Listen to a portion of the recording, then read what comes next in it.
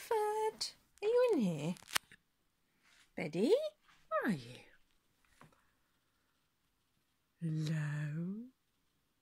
Are you camouflaged? You've done a very good job there, I have to say.